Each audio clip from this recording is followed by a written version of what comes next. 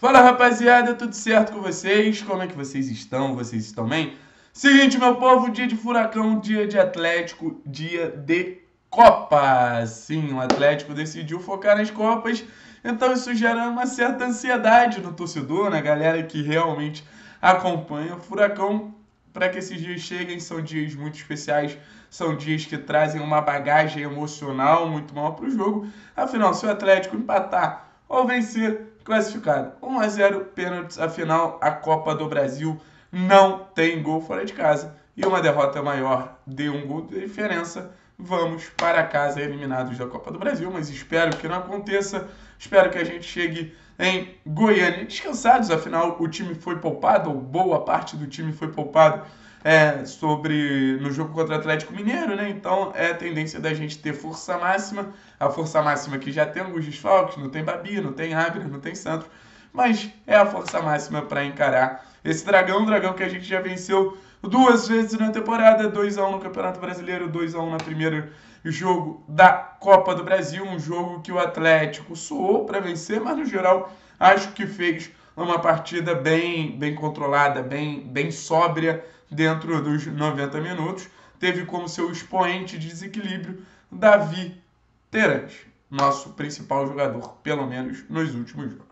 Rapaziada, é o seguinte, eu vou pedir para vocês se inscreverem no canal, deixarem like, o Pix do canal tá aqui embaixo também, e você ter possibilidade de seguir nossos patrocinadores e também ajudar patrocinando o canal. Evolução Pisos, lá de Ponta Grossa, mas atende Curitiba, a melhor loja de pisos de todo o Paraná. Instituto Arnubac, quer aprender direito de verdade?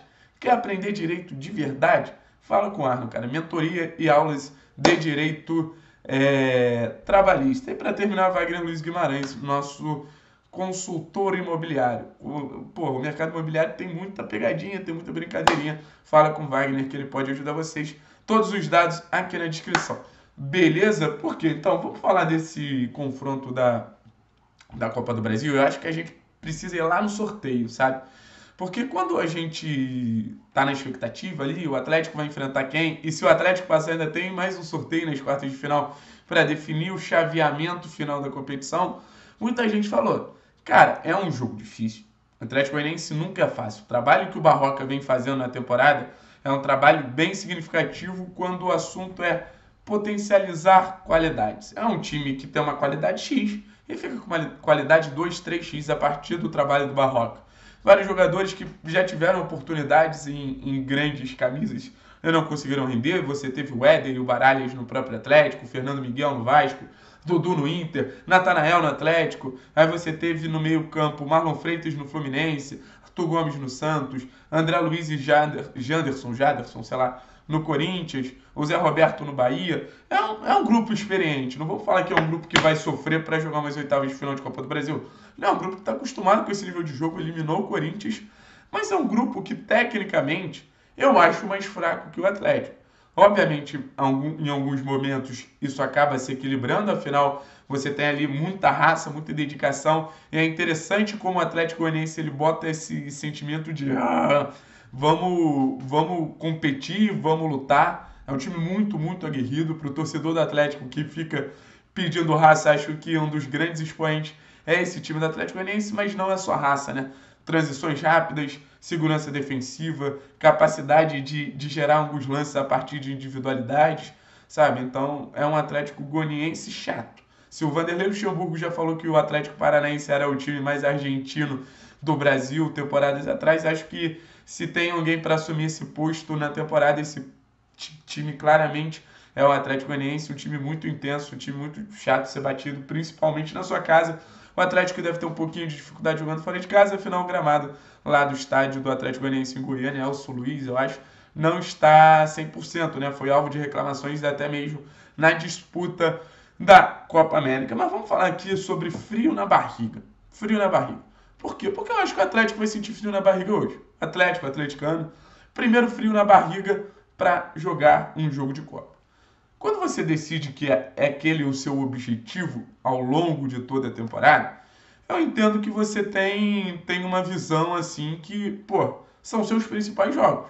E quando você vai disputar os seus principais jogos, você precisa estar, como eu falei, com uma chavinha virada. não é a mesma partida o jogo contra o Atlético Goianiense do que foi o jogo contra o Atlético Mineiro. O nível de importância é X. Quando você foca numa competição, você realmente precisa tratar aquela competição de maneira diferente. Não adianta falar, ah, vamos ter as Copas como objetivo e não elevar as Copas como algo impossível do Atlético perder. Perder, empatar, não deve estar como condição ali na cabeça dos jogadores.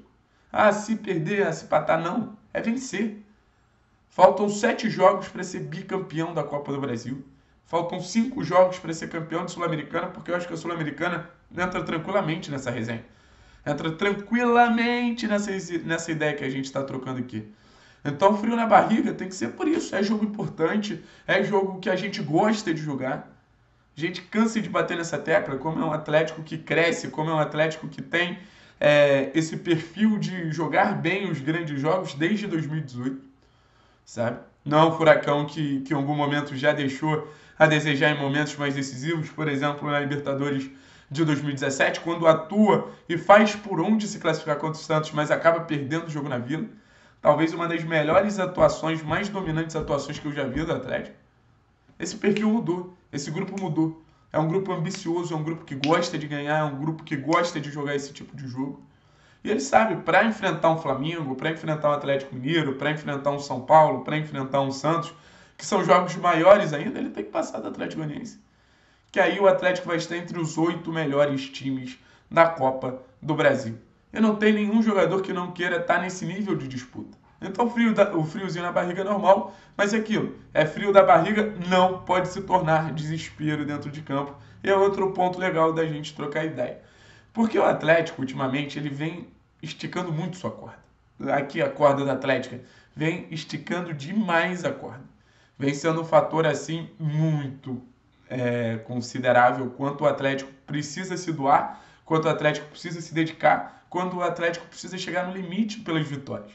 Em algum momento eu achei que era o que o clube poderia oferecer. Mas pensando bem, principalmente vendo o comportamento do Flamengo, de Atlético Mineiro, que são elencos melhores, mas o Atlético está na posição de time melhor. Se a gente, como Atlético, enxerga o Atlético Mineiro como um time melhor, é a mesma coisa Atlético Goianiense a gente a gente investiu mais, a gente trabalhou mais, a gente tem mais camisa, a gente tem mais tradição. Então quem olha de cima para baixo agora é a gente. E a gente tem capacidade sim de prender mais a bola, de ser mais malandro, de ter mais controle das iniciativas do jogo. Quando você joga um futebol reativo, você deixa na mão do seu adversário. Me controle. Quando você tem um futebol mais propositivo, você propõe as ações. Agora eu vou, agora eu vou baixar minhas linhas. E baixar as linhas não significa necessariamente ser atacado. Agora eu vou atacar mais e ficar mais com a bola, matar a bola. O Atlético precisa ser dono do seu jogo. Porque eu sinto um Atlético organizado, eu sinto um Atlético capaz, eu sinto um Atlético pronto, eu sinto um Atlético que sonha muito. Mas também é um Atlético que, dentro de um cenário, precisa mostrar todos esses fatores traduzidos dentro do campo de futebol, sabe? Então, expectativa grande para o jogo de hoje, alguns retornos importantes. Retorno do Vitinho, tem a situação lá com o Bordeaux, então cada partida do Vitinho ganha um peso a mais, né? Vamos ver se o Bordeaux vai ser realmente uma equipe que vai é, apostar suas fichas na contratação do Vitinho. Tem o retorno do Marcinho como titular. Espero que tenha o retorno do Christian. O Atlético vem mostrando uma diferença muito grande com e sem o Christian. Na, na postura mesmo tendo mais capacidade criativa, tendo mais é, capacidade de fugir da pressão. A gente sabe que a pressão no pós-perda é uma das grandes características dessa equipe do Atlético Goianiense. É, acho que o Christian tem mais armas assim e acho que hoje não pode sair do lado de um volante assim.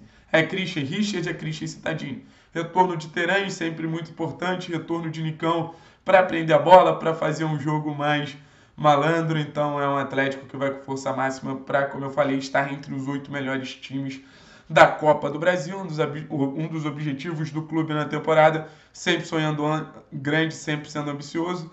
No meio de uma semana que a janela está muito movimentada, vários nomes aparecendo, e o Atlético é uma equipe que busca se consolidar cada vez mais como um dos gigantescos clubes do futebol brasileiro, e para isso os títulos são mais que necessários. Então, Vamos juntos a partir de 4, 3 e pouco. A gente começa a nossa live. Vai ter mais um vídeo daqui a pouquinho. E sempre produzindo conteúdo pro Atlético, beleza? Tamo juntando, rapaziada.